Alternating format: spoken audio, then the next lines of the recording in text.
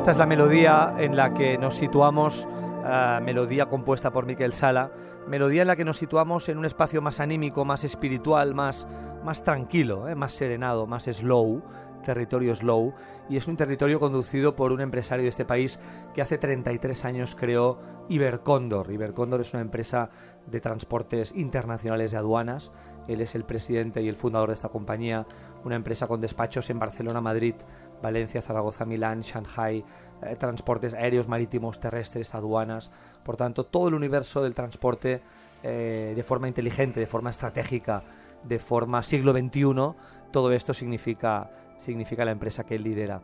Y es un hombre que hace preguntas con alma, es un hombre con una sensibilidad especial. Uh, Luis Miquel Sala, bienvenido. Buenas noches. Eh, gracias, siempre tu presentación tan agradable. Buenas noches a nuestros dos compañeros y visitantes y amigos. Esta noche eh, me gustaría exponer algo. Este algo significa el error del yo por encima de los demás, cuando en cambio tiene que ser el nosotros. Si somos lo que somos y hacemos lo que hacemos, cualquier cosa que hagamos, intervenimos todos. La propia radio, hay gente que escucha. Somos un colectivo, la televisión, vuestras empresas, el fútbol, cualquier deporte. En definitiva, cualquier cosa que se haga es colectiva. Expuesto esto, eh, yo no acabo de entender personas inteligentes como les funciona más la soberbia, la arrogancia, la intolerancia, la vanidad y la prepotencia. Para mí eso es patrimonio del ignorante, cuando realmente todos somos uno y uno somos todos.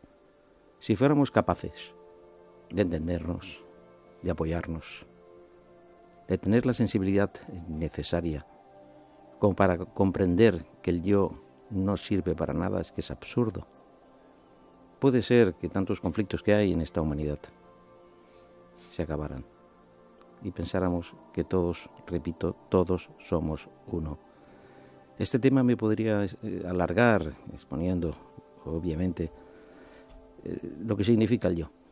El yo está muy vinculado con el ego y el ego es el peor enemigo del ser humano. Combatir el ego es complicadísimo pero si a los niños se les empieza por eso educadamente, y a los mayores también, llegaremos a un trato mucho más exquisito y más compartido entre todos. Esta noche eh, me gustaría, ya que expongo esto, eh, percibir la opinión de, vosotros tres, concretamente David, que me encantan tus opiniones. Eres una persona con cultura, que escribes y obviamente aportas también mucho. Lo cual me encantaría que creáramos un mini debate sobre lo que opináis sobre el yo, y más vosotros que estáis en el mundo empresarial. Estábamos hablando de micrófono cerrado sobre la necesidad que tenemos todos de abrir mercados por el mundo. Y abrir mercados significa todos. Y apoyarnos entre unos y otros para que todo funcione un poco mejor. Evitar guerras, conflictos, celos, desavenencias. Expongo esto en fin, eh, Giovanni, tú que eres una persona con experiencia, ¿qué es lo que opinas sobre el ego y el yo? Bueno, yo te digo una cosa, eh, yo siempre, eh, en todas mis cosas, es decir, siempre he pensado y actuado con, con detrás, bueno, con un team, con una escuadra. Es decir, desde que era pequeño, que jugaba mini básquet, nos han inculcado, nos han metido en la cabeza la idea del equipo. Es decir, que todos somos necesarios, ninguno es imprescindible. Entonces, luego con, con, la edad, este concepto lo he trasladado también al, al mundo laboral.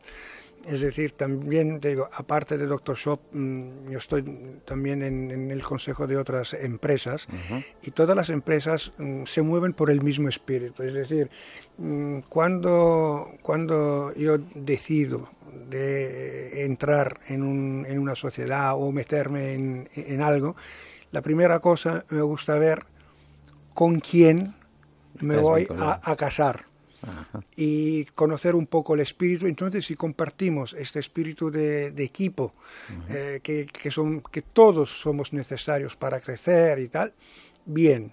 Si no, aunque la, lo que me proponen es interesante, pero no, no hay este feeling. exacto, no hay estos valores. Entonces normalmente me echo para atrás, digo muchas gracias por, por haberme llamado y tal, pero, pero no. Te entiendo, te entiendo perfectamente porque yo también pertenezco a sociedades. Eh, entonces, entonces eh, entendemos el concepto filosófico. Eh, es un poco, es un poco esto, sí, exacto, te entiendo perfectamente. Eh, ¿Tú mismo opina también que estás eres más joven y, estás en una rampa de lanzamiento importante? Sí, yo desde, desde mi humilde experiencia creo que evidentemente las cosas eh, salen si, si confluyen un, un grupo de gente, un grupo de, clientes, de inversores. Eh, es decir, las cosas por uno solo cuesta que salgan, ¿no? Compartir. Exactamente, y, pues depende, bueno, al final a nivel empresarial dependes exclusivamente de tener clientes, estás trabajando para una masa crítica de gente. Si no tuvieras las mamás de compra que tienes, tienes el equipo que haces, que no podrías hacer nada, ni tú, ni yo, ni nadie. Tienes un equipo, tienes un tienes unos proveedores, tienes unos clientes, entonces al final si no, si, si tu prioridad es el yo y no este conjunto de, gente, las cosas no van a salir, ¿no? Porque estás trabajando para servir bien a tus Por esto, fíjate lo que a mí me plantea el tema. ¿Y cómo somos capaces de discutir, de enfadarnos, de celos, de tener envidias, de hacernos la trabanqueta unos a otros? Si realmente nos necesitamos todos esta emisora de radio, si no fuera por Jaime que está aquí, en fin, por toda la dirección general que existe en cualquier cadena. No podríamos estar haciendo lo que estamos haciendo. Y somos capaces de enfadarnos, de cabrearnos, de coger cualquier irritación innecesaria cuando miramos los ojos con otra perspectiva más inteligente y más coherente. Tendríamos un mundo más de paz, no tan conflictivo como el que tenemos. ¿no? Eh, David, ¿tú qué opinas? Estoy pensando, estoy escuchando y, he, apuntado cuatro cosas en un papel. He apuntado que un yo, un yo solo, un yo que va de solo por el mundo, es negativo y resta, resta, quita. Un y divide. Un yo solo que va de solo por el mundo resta y divide. Y un yo que entiende que es yo y los otros, y los otros y yo y equipo, es un yo que suma. Que suma. Y es un yo que multiplica. Pero fíjate tú, si esta, nos llamamos como nos llamamos por los demás, y vestimos y compramos y hacemos por los demás, si no, no hace falta ni tener ni nombre. Si estuviéramos solos, sería indiferente todo. Si somos quien somos. Sí, sí. Somos por todos. Yo creo que además este yo solitario que tú decías y que nos has hecho pensar mucho exponiéndolo hoy, este yo solitario es un yo con miedos, es un yo miedoso, lleno de miedos, entonces se aísla en su yo y cree que de esta forma construye una fortaleza o construye un, castillo. Pero un yo incorporado con los demás, un yo social, un yo abierto, es un yo sin tantos miedos y es un yo más abierto a la vida. Eh, realmente es así, eh, Giovanni, que pienso que podéis participar en esta pequeña eh, tertulia, ¿no? De, si opináis como, como David completamente de acuerdo. Insisto, yo mm, creo mucho en, el equipo. Mm. Que luego es normal, como en todos los equipos, que haya un líder. Pero el líder es líder porque hay los demás. Porque si no, no sería líder.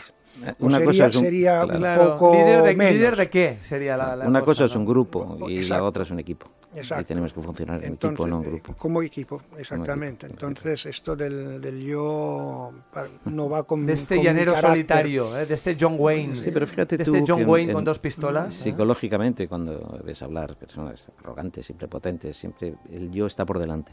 Es que yo, y yo, y yo, y yo me quedo Sí, pero desgraciadamente, desgraciadamente, ¿sabes? es, muchas veces es el carácter de la persona. Sí.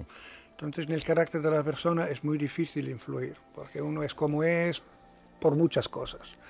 Entonces por eso hay muchos, al final hay muchos yo en el mundo. Demasiados y si hablamos de política más todavía, ¿no? Esto sería tremendo, ¿no? tremendo.